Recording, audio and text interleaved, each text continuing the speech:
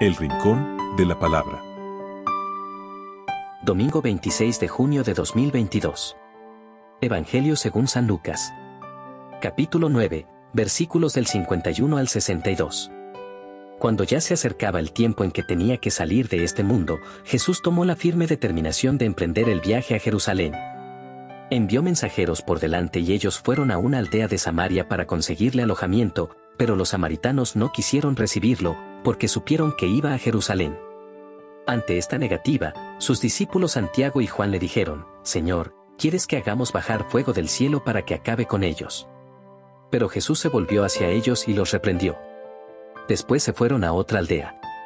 Mientras iban de camino, alguien le dijo a Jesús, Te seguiré a donde quiera que vayas.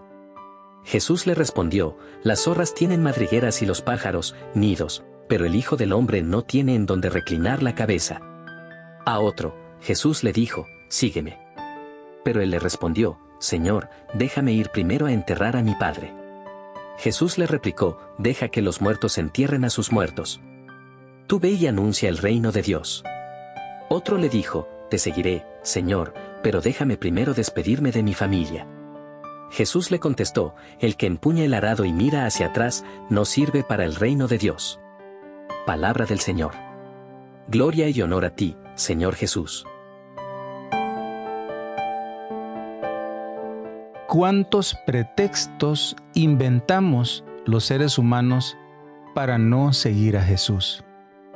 Él sigue invitando cada día, llamando cada día. Él insiste invitándonos a seguirlo. Y nosotros insistimos en poner pretextos. No puedo, no tengo tiempo, estoy ocupado, tengo que atender a mi familia, mi trabajo, mi negocio, mi estudio, etc.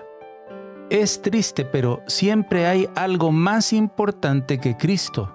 Siempre priorizamos lo que sea antes que Jesús.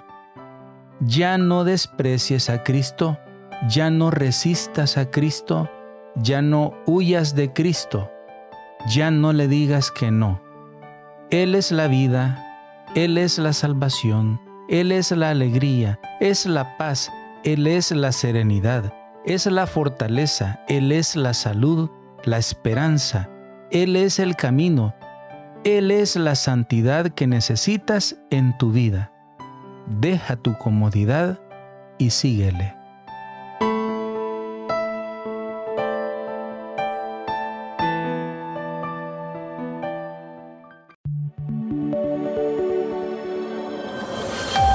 Comunidad Católica Virtual.